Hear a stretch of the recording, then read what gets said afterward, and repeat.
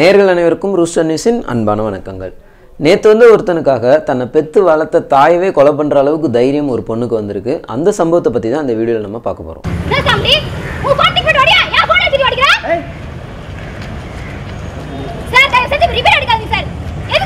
என்ன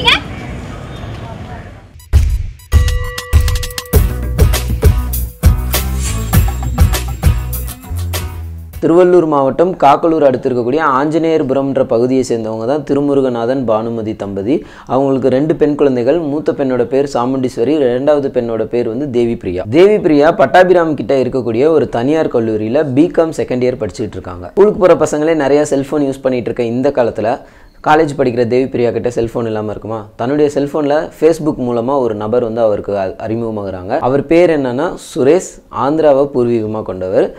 இங்கே நெற்குன்றம்ன்ற பகுதியில் ஒரு தனியார் கம்பெனியில் வந்து வேலை பார்த்துட்டு இருக்காரு. இவங்களோட இந்த ஃபேஸ்புக் பழக்கம் நாளடைவில் காதலாக மாறுது. அவங்க நேர்லையும் சந்திச்சுக்கிறாங்க நிறைய தடவை.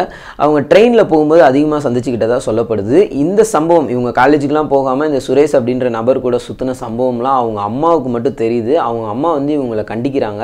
அப்போ செல்ஃபோனையும் பிடிங்கி வச்சுக்கிறாங்க. ஆனால் இவங்க வந்து ரொம்ப அடம் பிடிச்சி செல்ஃபோன் வேணும் அப்படின்னு சொல்லி அந்த செல்ஃபோனை வாங்கிட்டு மீண்டும் இவங்களோட பழக்கத்தை தொடர்றாங்க. அம்மா அடிக்கடி திட்டினதுனால இப்படிப்பட்ட ஒரு முடிவு எடுத்தாங்களா?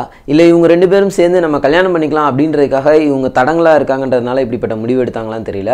அவங்க ரெண்டு பேரும் கடந்த பதினைந்தாம் தேதி ஒரு விபரீதமான ஒரு முடிவு எடுக்கிறாங்க. அந்த முடிவின்படி தேவி பிரியாவோட அம்மாவை கொலை பண்ணிட்டு இவங்க வந்து கல்யாணம் பண்ணிக்கலாம் எங்கேயாவது போயிடலாம் அப்படின்ற முடிவு எடுக்கிறாங்க. அதுக்காக ஃபேஸ்புக்லேயே தங்களுக்கு பழக்கமான கும்பகோணத்தைச் சேர்ந்த விக்னேஷ் மற்றும் தஞ்சாவூரை சேர்ந்த அஜித் அப்படின்ற இரண்டு நபர்களை வந்து உதவி கேட்குறாங்க. அவங்களும் இவங்க காதலுக்கு வந்து உதவி பண்ண ஒத்துக்கிறாங்க. ஏதோ உதவினா ரிஜிஸ்டர் ஆஃபீஸில் போய் கல்யாணம் பண்ணிக்கிறாங்க அதுக்கு வந்து ஹெல்ப் பண்ணுவாங்க. அப்படின்னு பார்த்தா இவங்க கொலை பண்ணுறதுக்கு உதவி கேட்குறாங்க அதுக்கும் அந்த ரெண்டு பேரும் ஒத்துக்கிறாங்க. அவங்களோட திட்டத்துப்படி டிசம்பர் இருபத்தி நாலாம் தேதி அஜித் மற்றும் விக்னேஷ் தேவி பிரியாவோட வீட்டுக்கு போகிறாங்க அங்கே தன்னுடைய அம்மாவை அடையாளம் காமிக்கும் போது அவங்க அம்மா யார் இவங்க என்னன்னு விசாரிச்சிருக்காங்க. அப்போ என்னோட காலேஜ் மேட்ஸு ஃப்ரெண்ட்ஸு அப்படின்ற மாதிரி சமாளிச்சிருக்காங்க. அதன் பிறகு வீட்டுக்குள்ளே போய் அவங்களோட அக்கா சாமுண்டீஸ்வரி வந்து இருந்ததுனால அவங்க வந்து கொஞ்ச நேரம் வெயிட் பண்ணியிருக்காங்க சாமுண்டீஸ்வரி தன்னோட பெட்ரூமுக்கு போன பிறகு அம்மா மட்டும் தனியாக இருக்கும்போது அஜித் மற்றும் விக்னேஷ் ரெண்டு பேருமே உள்ளே வந்திருக்காங்க. உள்ளே வந்ததை பார்த்துட்டு இவங்க என்ன ஏதுன்னு விசாரிச்சுட்டு இருக்கும்போது டக்குன்னு என்ன பண்ணிட்டாங்கன்னா தேவி பிரியாவே தன் கையில் ஒரு கத்தியை எடுத்து அந்த பசங்க கிட்ட கொடுத்து குத்த சொல்லியிருக்காங்க. அவங்க அம்மாவையும் பிடிச்சிருக்காங்க. அவங்க அம்மா ரொம்ப சத்தம் போட்டதை கேட்டு அக்கம் பக்கத்தில் இருக்கவங்களும் வந்திருக்காங்க. அவங்க வீட்டில் இருந்த சாமுண்டீஸ்வரி அவங்களும் வேகமாக வந்து பார்த்துருக்காங்க. அதுக்குள்ளே இவங்க மூணு பேர் சேர்ந்து அவங்க அம்மாவை கொலை பண்ணிட்டு அங்கேருந்து செவுரு ஏறி குதிச்சு ஓடி போயிருக்காங்க.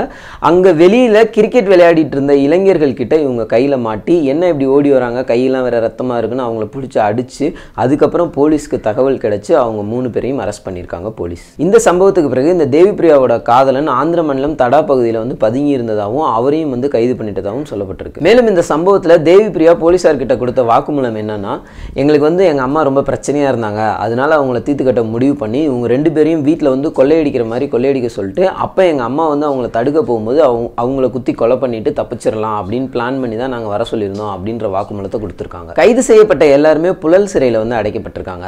இந்த சம்பவம் நடந்த பிறகும் தன்னுடைய அம்மாவே நம்ம கொலை செஞ்சுட்டோம் அப்படின்ற வருத்தம் கொஞ்சம் கூட இல்லாமல் ஒரு வீடியோவில் அவங்க பேசியிருக்க பதிவு வந்து ரொம்பவே எல்லாருக்கும் ஒரு வெறுப்பை தாங்க உண்டு பண்ணுது.